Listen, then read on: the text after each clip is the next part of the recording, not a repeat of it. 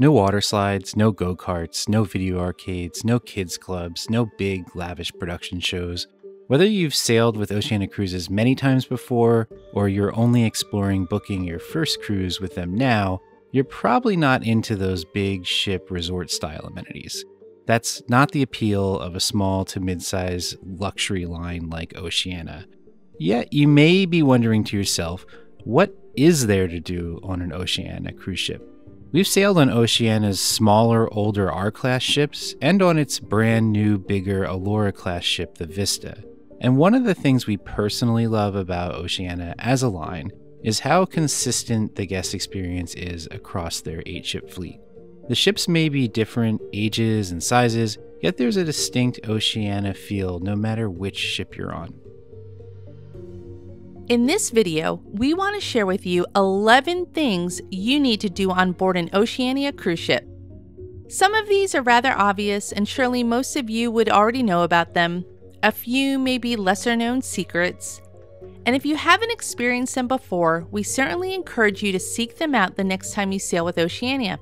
Regardless, these are some of the things we think help make the Oceania cruising experience enjoyable and unique, and that we recommend you try for yourself.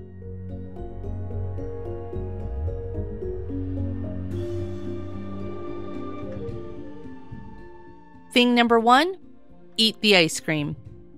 Oceania prides itself on having the finest cuisine at sea. And sure, we could tell you to get the beef Wellington in the grand dining room, or the whole Maine lobster in the polo grill, or the sushi in the terrace cafe. But no, we want to start with the simple pleasures. One thing you absolutely need to do on an Oceania ship is eat the ice cream.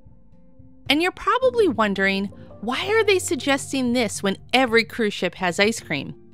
And our answer to you is two words Humphry Slocombe. Humphry Slocombe Ice Cream is a gourmet ice cream brand from the San Francisco Bay Area. They create really interesting and unique adult flavors, their term, like after school special, brown butter, white miso apple, and their signature flavor, secret breakfast which is a bourbon flavor ice cream with cornflake cookies. This ice cream is so good. Nom nom nom nom. And Oceania puts a new flavor on offer every day, so make sure to check it out often to see what the flavor of the day is. And here's a hot tip there are two spots on the ship where you can get it the ice cream station at Waves Grill on the pool deck, and also inside the buffet in Terrace Cafe. And the Humphry Slocombe flavors being served are usually different in every location. So if you don't like one choice, go check out the other location. Or, you know, get them both. You're on vacation.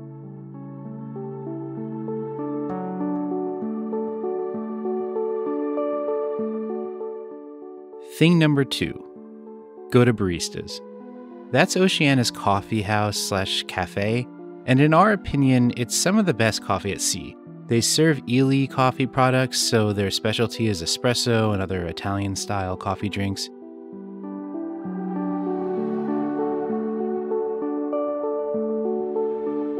Baristas is one of the more lively social hubs on each of Oceania's ships.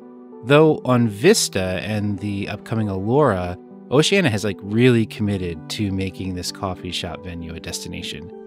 It's a big, beautiful, spacious, bright location up on deck 14 with panoramic views out over the pool deck.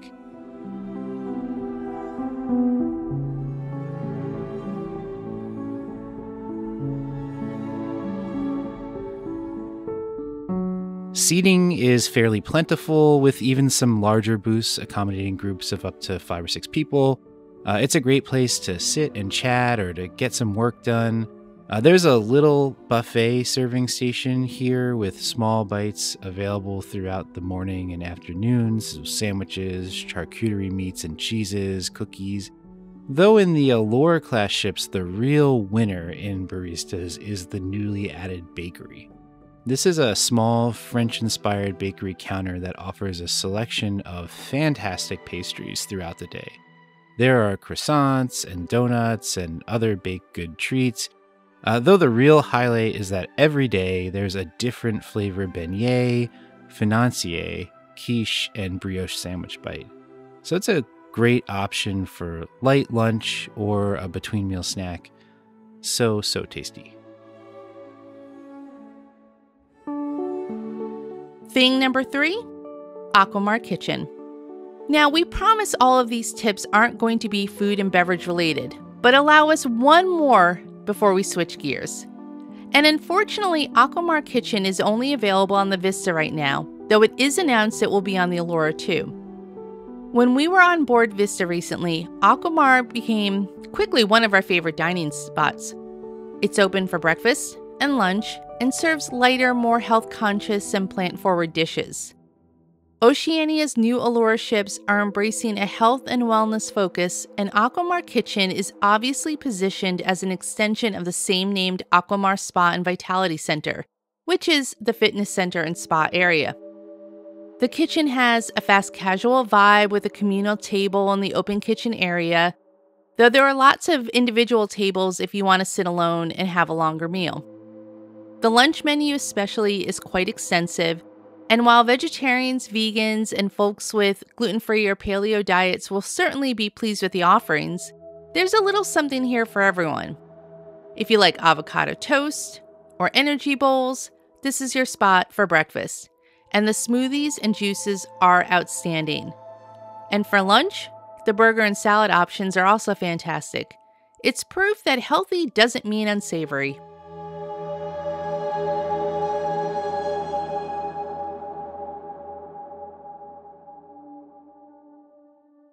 Thing number four The Captain's Welcome. This is an event that's not wholly unique to Oceania. I mean, other cruise lines offer some version of a cocktail party meet and greet with the ship's captain and, and the officers. Nevertheless, Oceania's Captain's Welcome Party is really festive yet relaxed. There's live music and canapes. It's a, you know, warm, lively affair. Uh, we always appreciate the opportunity to meet the crew and, and all those who work so hard to make our cruise a fantastic time. Uh, in- indeed, it's usually held on the first full day of the cruise, so it's a good opportunity to go and learn who's who on the leadership team. Uh, and then it becomes kind of a fun game to spot them around the ship for the rest of the cruise. But it's also a great time to mix and mingle with other passengers. Plus, if you like free wine and cocktails, uh, here's your chance.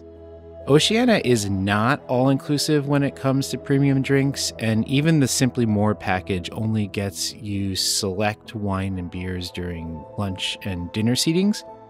So, alcoholic beverages like cocktails are going to cost you extra. There is, by the way, a happy hour special that's run most nights. And I guess that could be its own tip, but I'll just mention it here quickly as a kind of bonus tip. Oceania offers two for one of the same cocktail. So most days that happy hour is at 5 to 6 p.m. in all the lounges and then again uh, late night from 10:30 to 11:30 up in the Horizons observation lounge. Anyhow, back to the captain's welcome.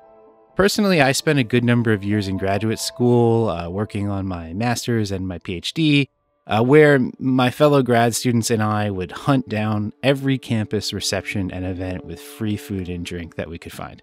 Uh, I like to say you can take the student out of grad school, but you can't take the grad school out of the student, by which I mean I'm no longer a poor, starving grad student, yet I still get like strangely animated over any opportunity to get free food or alcohol. Uh, anyhow, on our latest Vista cruise, on the night of the captain's welcome, they actually offered complimentary cocktails in multiple bars across the ship from 6 to 8 p.m. So even if you didn't go to the reception up in Horizons, you could still benefit from the perk. Uh, really nice of, of Oceania to do that. Uh, we might have stopped in on a couple other bars on our way down to dinner that night. Maybe.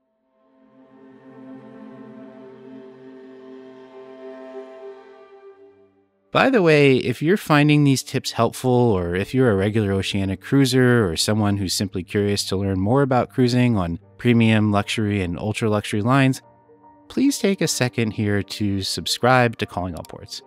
We've been at this YouTube thing for just over a year now. We're still relatively young and, and small as a channel. Uh, those subscriptions really do help us grow, and they also just make us happy and let us know we're doing something good. So thanks in advance for your support.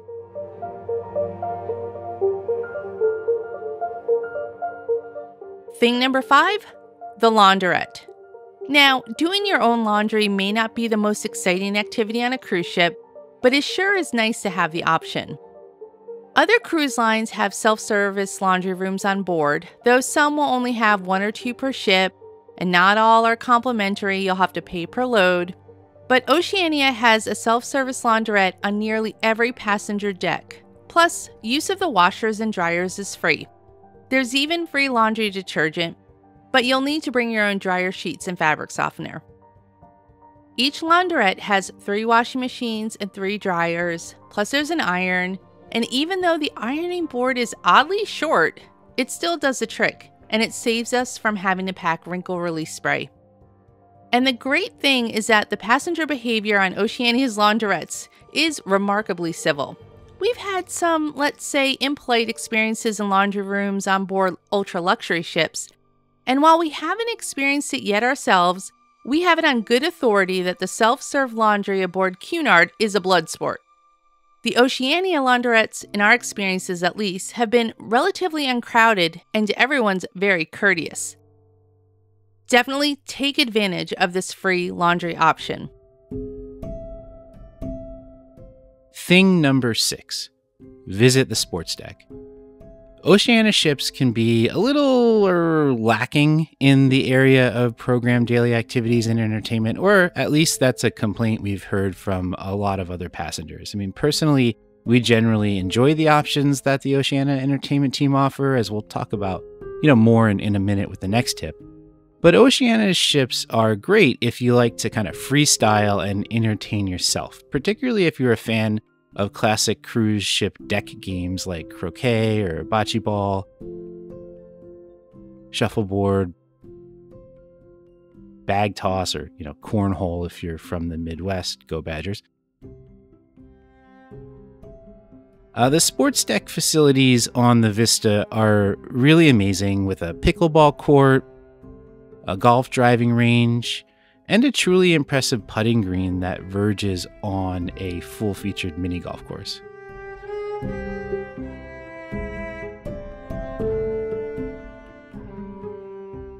Diana and I are, are big shuffleboard fans, and, and we've actually struck up some great friendships with other passengers while playing shuffleboard on Oceania ships.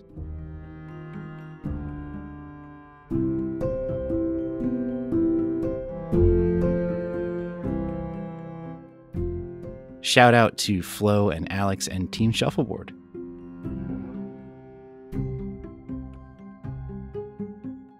Thing number seven collect big O points. Oceania's daily activities program includes enrichment talks, fitness classes, cooking and art classes, spa wellness events, dance classes, bingo, casino tournaments, the latter for an extra charge, Though at the core of the daily program are a number of classic cruise pastimes hosted by the entertainment team, including shuffleboard, bocce ball, bag o' bean toss, or bags or cornhole if you prefer, top toss, and of course, team trivia. Again, these are mostly the usual cruise line activities, but we really enjoy doing them on Oceania for a couple of reasons. First, trivia and the hosted games get a pretty decent turnout on Oceania, better than what we've seen on some other lines, so they're lively and decently competitive, which makes the games more fun, even though it's ultimately a friendly, collegial atmosphere. It's not cutthroat or anything like that. It also tends to be the same subset of passengers who participate in these activities on the regular, so after a couple of days, you start to see familiar faces, and it's a great way to make some new friendships on board.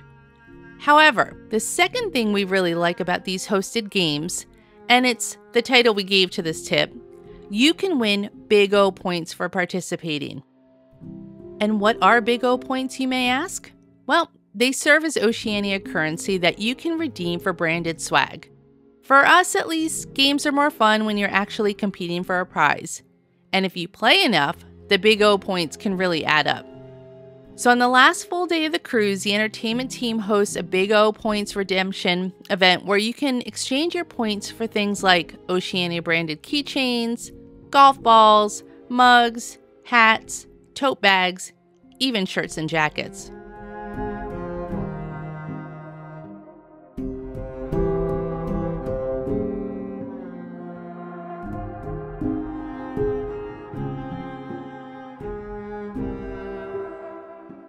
Thing number eight listen to the string quartet.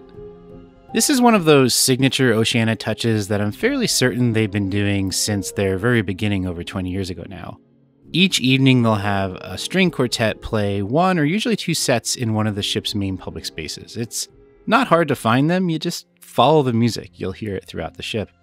Uh, on the Vista, that's in the Grand Lounge. Uh, on the R Class ships, it's in the atrium typically there's an early evening set starting around 5:45 like right before dinner and then there's also a post dinner set around 7:45 or 8:30 p.m. The exact schedule can vary a little day by day. Regardless, they're excellent musicians and we always find it enjoyable to sit and listen even if it's only for 10 or 15 minutes on the way to or from dinner.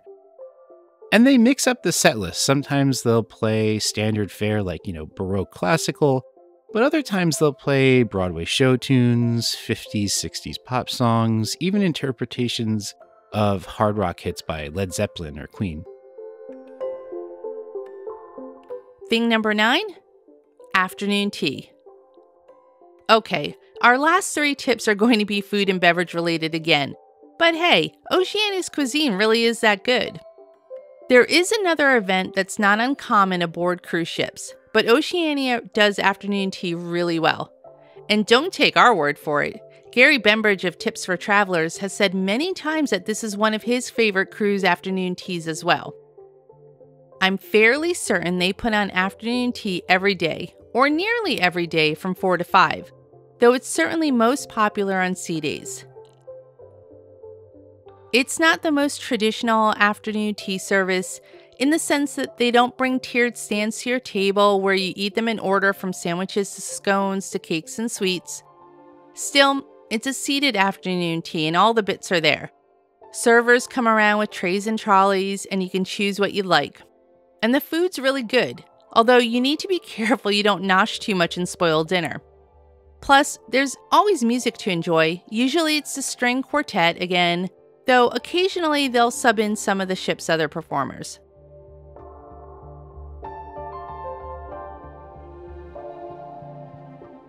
Thing number 10 dine in the grand dining room. This might be the most important tip of all. Don't sleep on Oceania's main dining room, which they call the grand dining room. It's easy to get taken in by the specialty restaurants on board, and, and they're really good. However, Oceania's MDR is a real gem. To start, the space is elegant, especially on Vista. The grand dining room is absolutely gorgeous. It's one of the most visually stunning main dining rooms that we've seen on a ship. And it doesn't only look good, the space is actually partitioned wonderfully, so even when it's packed full, it never feels crowded or noisy. And the food, though, is, is top notch. Plus, the menu is constantly rotating. The cuisine here is grounded in classical French dishes and techniques, in- including a, a nightly selection of Jacques Pepin's signature dishes. Although there's always a variety of global dishes included, sometimes it's Italian, other nights it's Indian or Pan Asian. There's also always a selection of lighter, healthier Aquamar spa options too, plus some plant based selections for the vegetarians and, and the vegan diners. Honestly, there have been times when we ditched out on our specialty dining reservations to eat in the MDR instead. It's it's just that good. The grand dining room is also open for breakfast every day and lunch some days. It's always open for lunch on sea days. So even if you're hooked on the specialty restaurants for dinner, we encourage you to at least give the MDR a try for breakfast or lunch.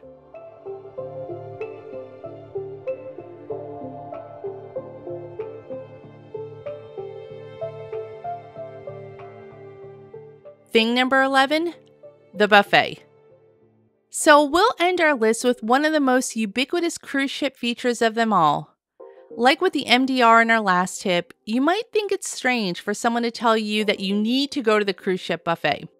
Every ship has one, and often the buffet's not all that remarkable, downright terrible even. But on Oceania, the Terrace Cafe is really quite special. And so, more than anything, we're just here to say don't skip it. It's open for breakfast, lunch, and dinner every day, so at least try to give it a try a couple times during your stay. For one thing, the service here is great, and it actually feels more like a dining room with white tablecloths and proper ceramic dishware and table service beverages and so on. Also, up at the buffet itself, servers plate all of your food, which we really like. It's cleaner and healthier and cuts down on food waste. But most importantly, the quality of food here is outstanding. Options rotate daily, especially for lunch and dinner, and everything's super fresh. There are high quality cuts of meat and seafood. There are high end ingredients like caviar, lamb, sashimi, and whole lobster tails. And quite a few of these items are cooked to order right in front of you at the grill station.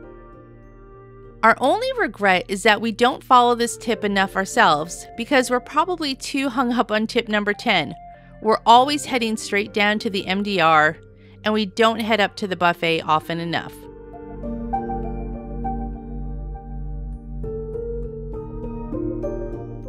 And that's it. Our recommendations for 11 things you need to do on board an Oceania cruise ship.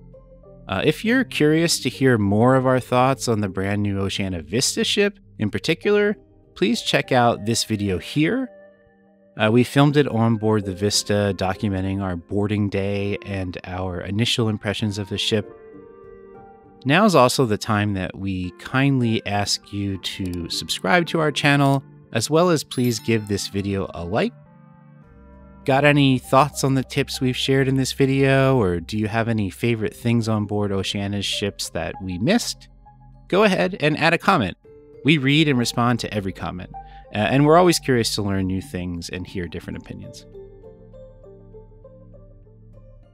Until next time, be seeing you.